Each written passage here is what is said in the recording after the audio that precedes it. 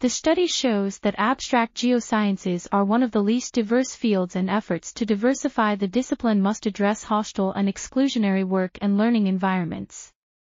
A workplace climate survey distributed to five professional organizations illustrates varied experiences of Earth and space scientists over a 12-month period, pre-COVID. More than half of women and non-binary respondents, as well as those who identify as LGBTQIA plus experienced identity-based discriminatory remarks.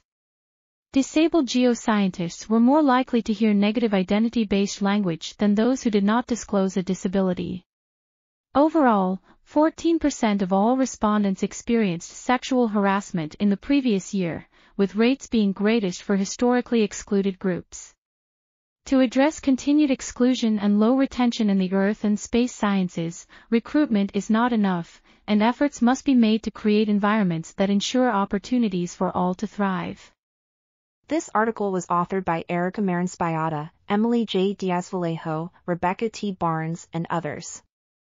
We are RTCL.TV, links in the description below.